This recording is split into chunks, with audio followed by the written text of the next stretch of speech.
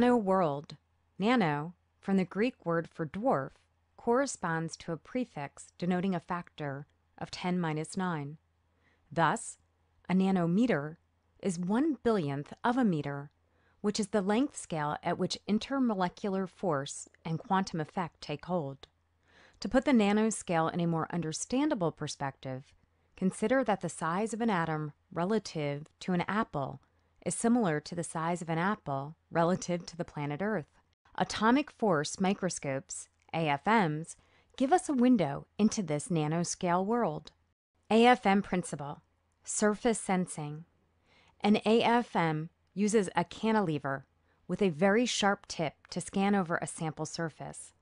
As the tip approaches the surface, the close range attractive force between the surface and the tip cause the cantilever to deflect towards the surface.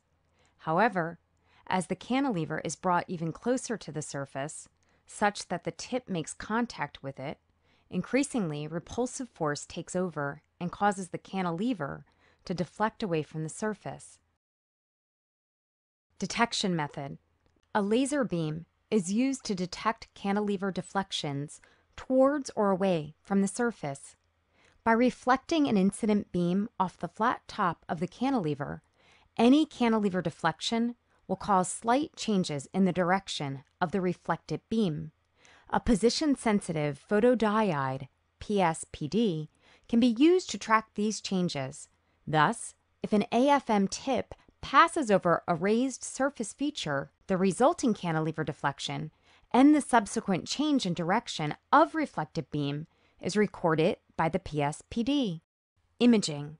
An AFM images the topography of a sample surface by scanning the cantilever over a region of interest. The raised and lowered features on the sample surface influence the deflection of the cantilever, which is monitored by the PSPD by using a feedback loop to control the height of the tip above the surface, thus maintaining constant laser position.